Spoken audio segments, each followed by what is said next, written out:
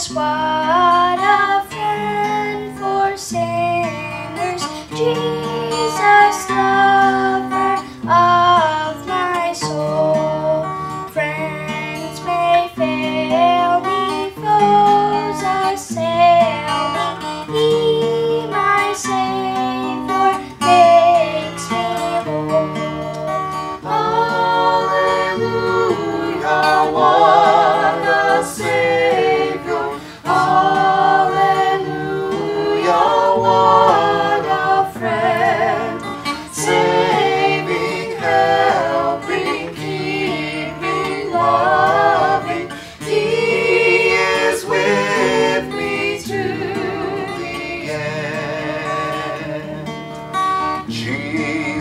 What a strength in weakness, led behind myself in Him.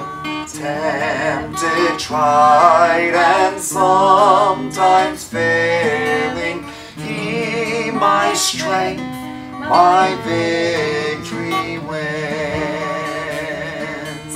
Jesus, what a in sorrow, while the billows o'er me roll.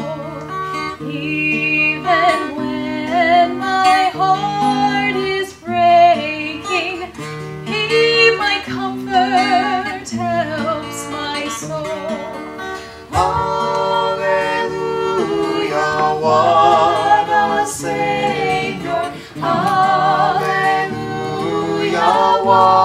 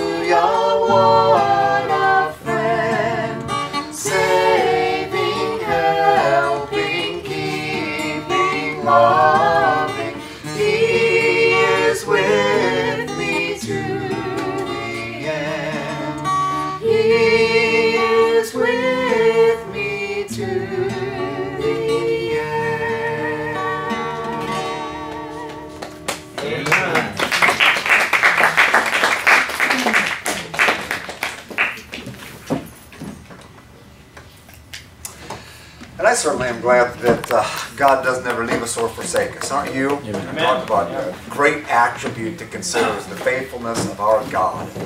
Um, friends fail you, family forsake you, God never will. Thank God for His faithfulness. It's good to see you out tonight. Thanks for coming out on this Tuesday night. Pastor already mentioned it takes planning to be out on a Tuesday night, and that is certainly the case. And uh, you know, just adding something extra. The services are, you know, we don't take a long time, an hour, hour and a half plus drive time, so maybe hour 45 or two hours, um, including everything. But it just, it kind of wears on you physically a little bit. And I get that. Actually, I have uh, one who is already out. He fell asleep during uh, Brother Taj's song leading, which is uh, rather impressive to be able to fall asleep while that while that is happening. But he's out cold. So if you feel that way, you can't do that. If you're an adult, you have to stay. You have to stay with me and stay awake. We're going to be in the book of Philippians tonight. So if you have your Bible, turn with me, please. Philippians chapter number three. And if you're a child over the age of three, you can't do that either, just in case some of you guys were planning on it. Philippians 3. And uh, we're going to be reading a couple of familiar verses and good verses tonight. I trust it will be a help to you. Philippians chapter number 3. And then we're going to begin reading in verse number 13 in just a moment. Uh, let's start in verse number 12 in just a moment. Philippians chapter 3 and verse number 12. Tomorrow night is the last night that we'll have services here. So 7 o'clock tomorrow night here. And I hope if you can come that you will. And then Pastor already mentioned that out on Miami Beach. We'll be there um, at 7 o'clock for Thursday and Friday evening and looking forward to the time that we can have out there. We'd love it if we could, if we could, if this time, this Thursday and Friday would give a good opportunity for us to get some more folks from that area to start coming out to the uh, ministry there and let us continue to see that um, grow into um, a solid, reaching um, church there on Miami Beach. I'm grateful for the burden that God has placed on uh, your heart and pastor's heart regarding that ministry. It's a needful thing, really is. So this, this uh, could be a good opportunity for that. Philippians chapter number 3 and beginning in verse number 12. If you're physically able, stand with me please and let's show our public respect for the scriptures and also get the blood flowing to your brain one last time before you're seated for a little bit and I stay standing. All right? Philippians chapter number 3, verse number verse number 12 says, this is the Apostle Paul speaking, and he's preaching to a group of believers, uh, or writing rather, to a group of believers, and he says, not as though I had already attained, either or already perfect. Okay, time out real quickly. Anybody else identify with that? Where you would say, I'm not already perfect? Yeah. How many of you are already perfect? Raise your hand, please. How many, how many of you are not already perfect? Okay, that's the rest of us. There's a couple here that have already attained, but we have not. Not as though I had already attained. I mean, it means I'm not all that in a bag of chips. Either we're already perfect, but I follow after. In other words, I'm, I'm, I'm seeking after something, if that I may apprehend, grab a hold of that for which I am also apprehended of Christ Jesus. Brethren, I count not myself to have already apprehended. In other words, I haven't already reached the goal. I've not already received the trophy. But this one thing I do forgetting those things which are behind and reaching forth onto those things which are before, I press toward the mark for the prize of the high calling of God in Christ Jesus.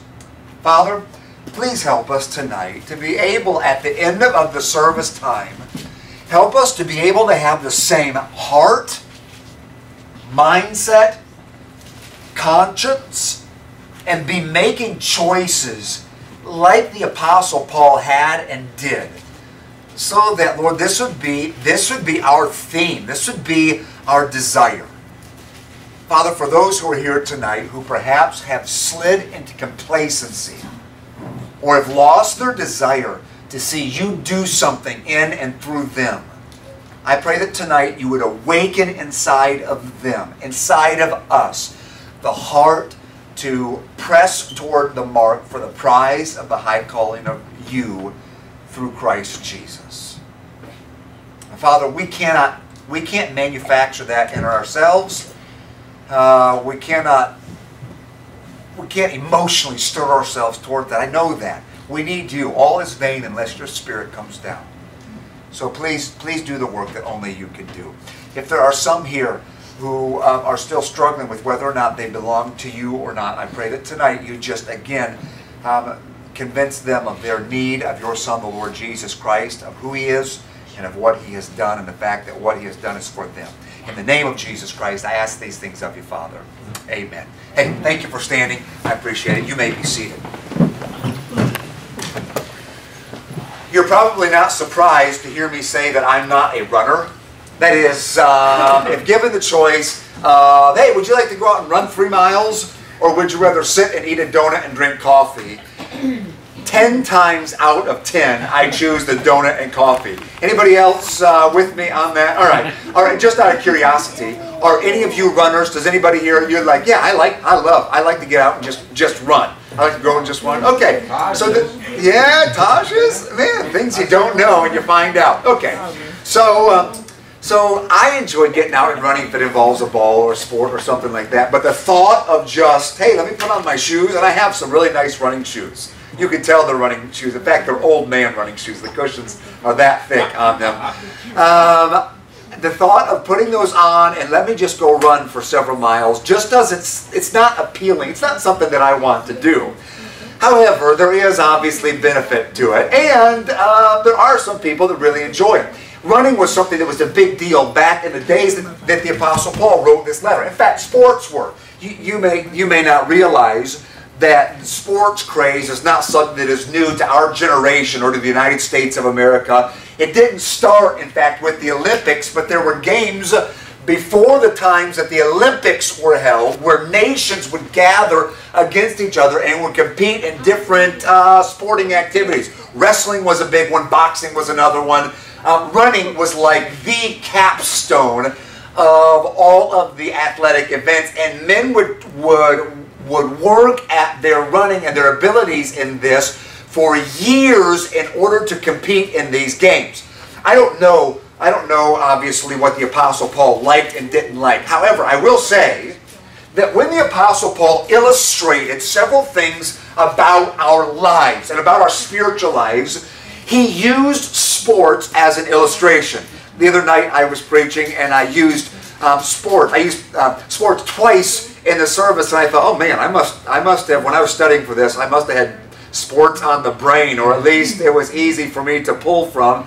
But it must have happened to the Apostle Paul as well. That's what he does here. He uses running as an example to, um, to illustrate something that is very, very important because it's something he assumes that most of us can, can connect with a little bit. And he uses running specifically. Now, in verse number 13 of Philippians 3, uh, he says, Brethren, I count not myself to have apprehended. The word apprehended means to have uh, grabbed a hold of, or the idea is I haven't, I haven't crossed the finish line and received the medal.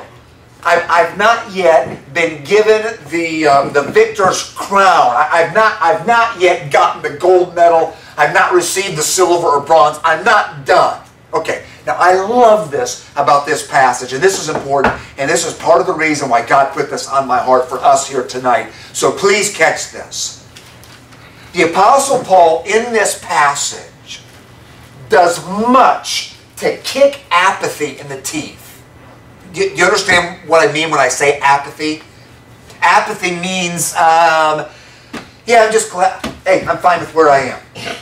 I, I don't need to be any better than I am. I don't need to go any farther than I am. I, I can just coast from where I am right now. I'm, I'm okay. All right, now look, in the business world, apathy never gets you anywhere in, in your family life, being apathetic with where you are right now is not any good. And the same is certainly true when it comes to living for eternity.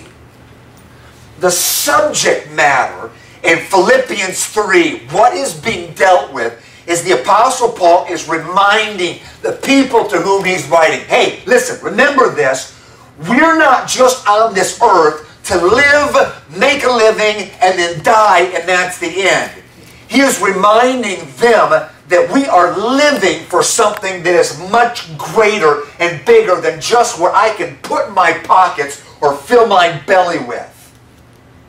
I'm not living just for here and now, the Apostle Paul says. I am looking toward the day, knowing that there is coming a day when the Lord Jesus Christ is going to return and all people are going to stand before Jesus Christ, and there is a prize to be won for being faithful and just consistently doing what it is that God has me to do. Okay, listen.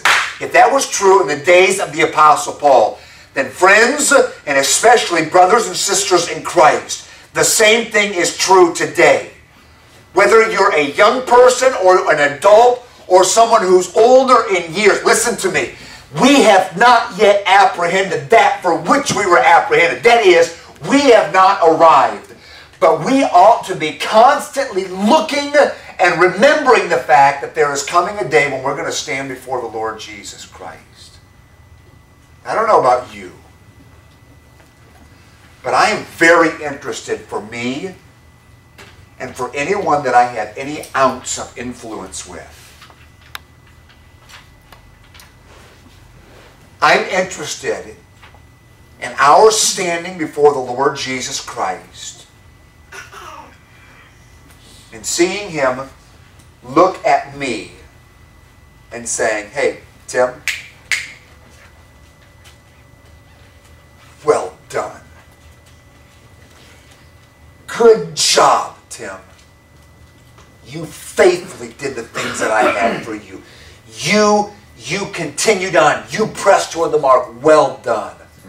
I'm telling you, at that moment, if you let your brain see that at all, at that moment, everything else that I pour myself into, my hobbies, my dreams, my desires, the, the finances that I worry about, and the way that I want to improve my living situation, none of which in and of themselves are wrong, but honestly, in that moment of making eye contact, if I'm able to, with the Lord Jesus Christ and hearing Him say, Tim, good job. At that moment, everything else just melts away. Nothing else matters at that moment. So the Apostle Paul writes and he says, Look, we haven't arrived yet. And then he says basically, let me share with you what it is that I'm doing. This is the Apostle Paul speaking. Let me share with you what it is that I'm doing to make sure I stay focused on eternity so that I can hear my Savior say, Well done, thou good and faithful servant. And in verse number 13 of Philippians chapter number 3, the Apostle Paul, when he says, Brethren, I count not myself to have apprehended, I'm not done. But he says, This one thing I do. He's explaining to us what, what it is that he does. He says here, forgetting those things which are behind and reaching forth unto those things which are before. And then in verse 14 he says, I press toward the mark for the prize of the high calling of God in Christ Jesus. So what it is that he does is he presses toward the mark. But in order to press towards the mark, he says, I've got to forget some things that are behind and reach forth unto those things which are before. Okay, time out real quickly, because this is applicable to us. If you have any desire at all to have the Lord Jesus Christ say to you, well done. If you want to be faithful to God, if you want to be faithful to the Lord Jesus in service to Him and live a life that has meaning past the end of these days that we live on this earth, days feel like ye, or uh, years feel like days. That is the truth. I mean, how it flies by. So if you want to live a life that has meaning for eternity, let me tell you what has to happen. Same thing the Apostle Paul says. Forgetting things that are behind. What, what is that about? Um, well, for the Apostle Paul specifically, he's speaking here of the, the things that the things that he thought gave him value. The things that he considered that he had a, as a part of his life that made him valuable in the eyes of God and the eyes of other people. So the Apostle Paul would have looked at this is not this is not us. I get that, but I'm explaining to you what he was thinking and we'll apply it to us. The Apostle Paul was would have thought things like, before he knew Jesus, he would have thought things like, okay, hmm, my heritage, my family, I'm a Jew. My heritage and my family gives me value and standing before God. And so he would have held on to his heritage and uh, the family that he came from. And the fact that he was a Pharisee, meaning he was a very religious person. And he thought, okay, because I have been a very religious person, that gives me value in the eyes of God. I have kept to the religion of my fathers. I haven't, I haven't gone to the left or to the right. I've stayed right on. I've done just everything by the book of what my uh, what my what my uh, colleagues and teachers have said to do. I have done perfectly that which I'm supposed to do. Okay, and he would have looked at those things, and he would have before he knew Jesus Christ, before he understood about living for eternity and serve what serving Christ was all about. He would have looked at those things, and those would have been the things that to him were gold in his pocket. That was what filled his belly. That was what gave him, in his mind, worth before God and value to other people. But then when he met the Lord Jesus Christ, and he learned that those things which he counted as so valuable were so worthless, he says here, in order for me to live for Jesus Christ, those things which I thought were so valuable and so important, those are the things that I have to forget about as they're behind me. And when he made a decision to follow the Lord Jesus Christ, he turned his back on so many things that to his mind were so valuable, to so many of his friends were so valuable, to his family was so valuable. All of those things he said, I'm not living for that anymore. My value is I'm following the Lord Jesus Christ. That's what's important at this point. Okay. Now, if you're thinking at all, and I hope you are, even though it's a Tuesday night, I hope you can apply that to your own situation as I can to mine. While I'm not a Jewish man and my heritage really doesn't mean much, there's probably horse thieves back there somewhere, I don't know. Mm-hmm. While my heritage doesn't hold much value, there are things before I knew the Lord Jesus Christ that did hold value to me. That gave me value in my mind, either to God or to others. Money, acceptance, prestige in the field of what I did. As a young man, that I could play ball better than other people, that everybody else liked me, that I could buy the things that I wanted to. These are the things that for me held value. I don't know what it is that holds value to be to, to you. It could be that it's uh, things like like family accepting you, and above all things, that's what's most important. Or it could be the things that you can put in your pocket, or what other people say about the work that you do, and those things are what hold all the value to you. Well, look those things are not in and of themselves wrong things. That is, being liked by somebody is not wrong. We're not supposed to work at being not liked. You understand what I'm saying? However, if you and I are going to live for Jesus Christ, then it, then it involves my forgetting things that are behind me. Those things which I counted as valuable, if I'm going to live for eternity, then those things are pushed behind me so that I follow Christ whether my friends appreciate it or not. I follow Christ whether my family understands it or not.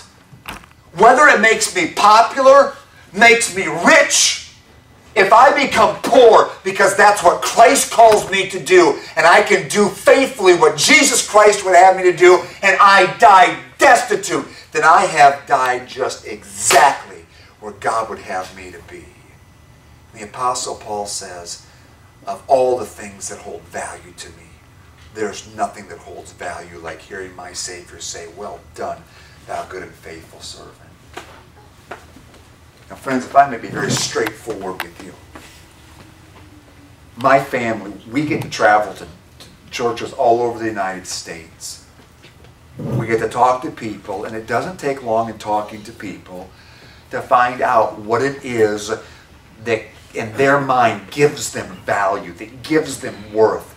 The things that, that jive them, the things, the things that get them going, what it is their passions are about. And it's not wrong to have hobbies. And it's not wrong to want to be good at your job. In fact, there are many right and good things about it. But the moment that that becomes the motive for which I live, in fact, the Bible speaks to that whole situation, which is sometimes confusing in our minds. And we're given instruction to whether we eat or drink or whatsoever we do. Do you know what the rest of the verse says? Do it like you're doing it the Do all to the glory of God. Not for the benefit of what I can receive, but because I am doing it before my Lord. Okay. So the Apostle Paul here says, forgetting those things that are behind. Now let me mention one other thing that the Apostle Paul isn't specifically mentioning here, but that's applicable because to certain people's personality, this this is important. So, um, hey, right right now, um, do your best if you're if you're struggling a little bit with uh, staying focused. Right now is the time to key it back in. One of the things that sometimes have to be forgotten in order for me to to uh, to continue going forward the way I'm supposed to is past failures that have been taken care of. Sins of my past, whether when I was saved or when I was lost. Things in the past that sometimes grip us. Here's the deal when they've been made right. So that if you have things in your past, by, by the way, if you have sins in your past that haven't been made right, you've not made it right with whoever you wronged, you've not asked God's forgiveness, then friend, you, you can say, well, I just want to forget about that, forget about that so I can go forward. It doesn't work that way. No, no, no, no. But once something has been made right with the person that you wronged and you've asked God for forgiveness, there are certain personalities, certain people that struggle with this more than others. Certain people uh, live constantly looking back at the failures that they have and think, I can't, I can't go forward because I made a mistake back there. And, oh man, God could never use me because, oh, because of what I did back there. I can't believe I did that. I, oh. And they kind of give up on serving God and give up on going forward because they're worried about what's in the past. Hey, listen to me. When the Bible says, when God says that He forgives those who come and ask forgiveness, when we confess our sins, that He's faithful and just to forgive our sins and cleanse us from all unrighteousness, that means that when we confess our sins, He is faithful and just to forgive and to cleanse.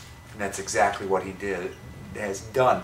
Now, if you've made things right with, with others and made things right with God, and it's still something that grips you, that is one of those things that whether you feel it on the inside or not, by faith, by faith, believing that what God says is so, that's one of those things where I where you have to say, where I have to say, God, by faith, I accept that you have forgiven me. I forget by faith those things, and I'm not going to let that stop me from going forward. And then you pull your full attention on that which is before you, which is what the rest of the verse says here in verse number 13. Forgetting those things which are before, and I love this. And then reaching forth onto those things which are before. Reaching forth just has the idea of, um, of, of grasping, you know, reaching forth out of those things which are before. Monkey bars, you're grabbing from one bar to the next bar, to the next bar, to the next bar to get across. and, and that, that's, okay, that's the way, that is the way the Christian life is lived. Let me tell you what we would like, at least what I would like. Maybe you not so much, but me. What I would like is, in one moment,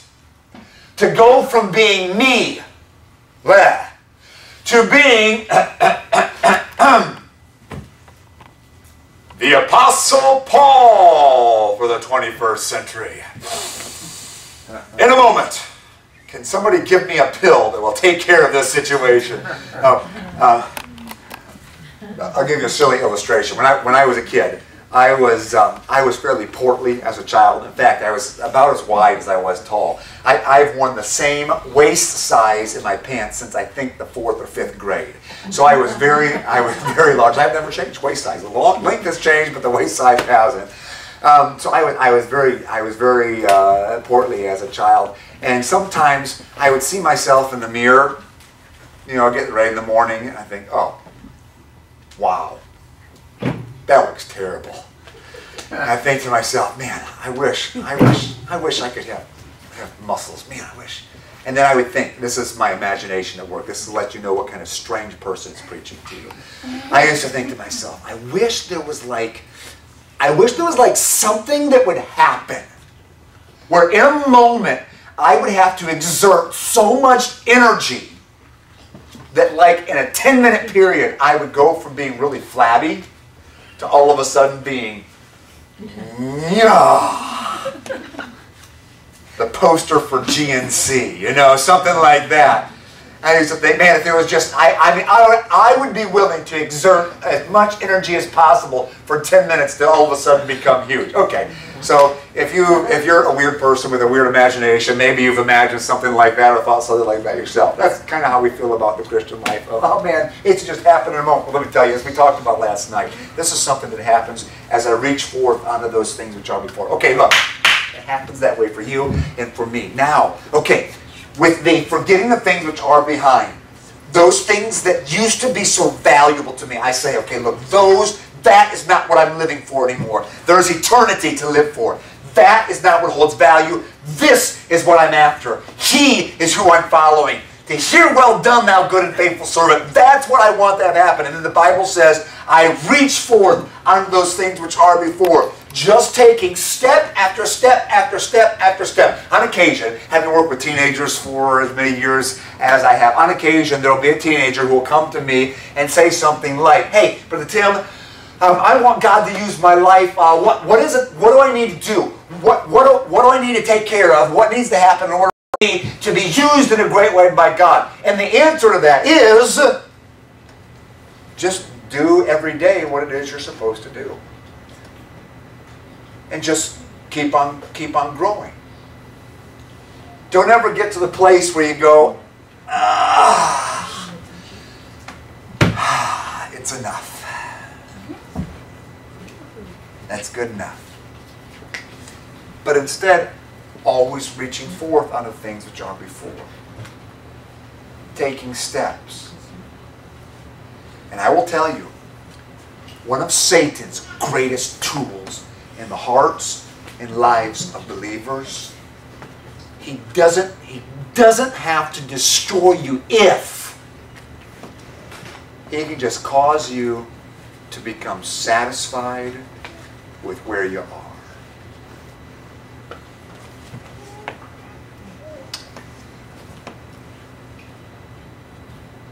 One of the things about revival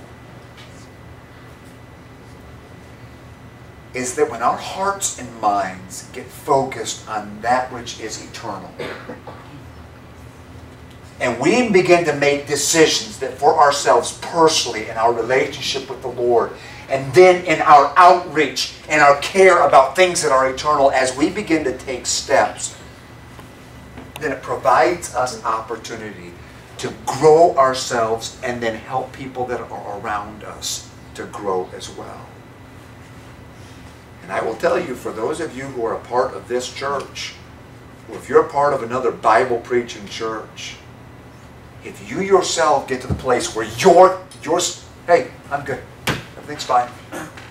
Everything's good. But you're not yourself constantly growing. You may be involved little, you may be involved much.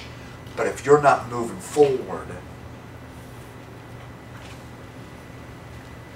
then could it be that you've grown complacent with where you are in your relationship with God and your care about those things which are eternal? I can't, I can't set up some, some goal. In other words, it's not, it's not for me to say, you should be doing this much. I, I, obviously, I can have ideas, suggestions. I'm very willing to take over anybody's life that wants me to. I'll be glad to tell you everything that I think. But what I think isn't as valuable, obviously, as what God has for you. But sometimes, listen, sometimes people say, well, God just didn't build me that way. Yeah, God may have you do that with him, but I'm just I'm just not that's that's not that's not God's call on my life, which oftentimes is an excuse for um, I'm just happy with where I am. I'm coming to church. I give. Everything's I'm fine. Okay, look, look, look. Forgive me, forgive me. But think about what the Apostle Paul is teaching here in the passage. Forgetting those things which are before and reaching, or which are behind, rather, and reaching forth unto those things which are before.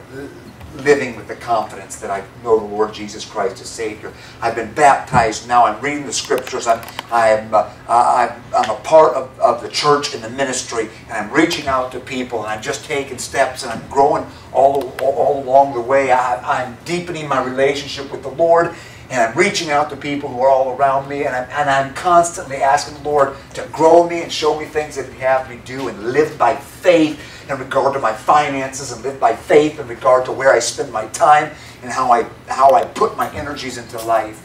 And I'm just constantly growing and growing. The Bible says, as I'm doing that, Paul says, when this is taking place, as I'm reaching forth out of those things which are before, I love this, I press toward the mark. The word press has the idea of all the energy that you have, everything that's inside, you are pushing, pressing, knowing that there is someone or something or things pushing against you still. I press toward the mark. Why? For the prize of the high calling of God in Christ Jesus. To hear my Lord and Savior say, hey, well done, thou good and faithful servant. And let me tell you, friends, it will be worth it all when we see Jesus. Life's trials will seem so small when we see Christ. One glimpse of His dear face, all sorrows will erase. So, bravely run the race till we see Christ. Are you complacent? Are you satisfied with where you are? Or are you having forgotten those things or continuously forgetting those things which are behind? Are you right now reaching forth onto the things which are before so that you can press toward the mark and hear your Savior say, my Savior say, hey, good job. Oh, good job. Good, faithful servant. May God help us. Father, in the name of the Lord Jesus Christ, I pray tonight that in our hearts, in our minds, that, that we we would be aware of the complacency that so easily, so easily grabs a hold of us and lets us just be satisfied where we have fulfilled that which we think is enough, where we have we have placed value on, on our religious activities the way the Apostle Paul would have before he knew you. Lord, I pray tonight we would forget past failures and past victories, not dwell on those and live eating the meat of yesterday, but instead help us, dear God, to look ahead at the things that you have before us and to reach unto those things which are before us. And in reaching, help us to press and press and press. Though sometimes it may involve sorrow, sure. And it may involve difficulty, sure. And it may involve people saying things about us or not understanding why we would invest that way or whatever it is. Dear God, I pray that you please uh, put it in us, in me, dear God, to press toward the mark for the prize of your high calling, which is in Christ Jesus. Lord Jesus, I am sincerely looking forward to the day when I do get to bow before you. And it is my sincerest desire to hear you say to me that I was good and faithful in serving you. And so please do put before me, dear Lord, the things that I need to reach to. And for these who are here who would desire the same thing, would you please make plain the reaching forth while we continue to take care of the things you've already given to us. Help us, dear Lord, to reach onto those things which are before. In the name of Jesus Christ, Father, I bring these requests to you. Now, with heads bowed and eyes closed, two questions. Well, maybe, maybe more than that, but not many. The first question is almost always I wonder if there's someone here who would say, Tim, I don't yet know Jesus Christ as my Savior. Living for eternity is not something I can even uh, do, can't get, because I've not, I've, I've never accepted Jesus Christ as my Savior. I don't know that I'm God's child.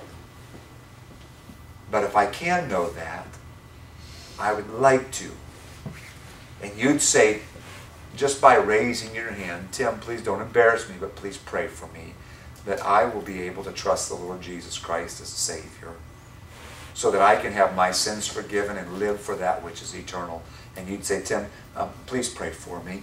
Anybody like that tonight, would you slip up your hand? I don't know for certain that my sins are forgiven. I don't know that I'm God's child, but I'd like to, or I have questions about it. Please pray for me. Would you slip up your hand? Let me wait just for a moment. Okay, see that hand? You can put it down. I'll pray for you. Next question. I wonder how many tonight would say, Brother Tim, um, to be perfectly honest, I can see, when looking at this passage, I can see ah, that in my heart and life, at least in part, I have slipped into some complacency when it comes to just faithfully serving the Lord. And I see tonight that um, that's not where I want to be.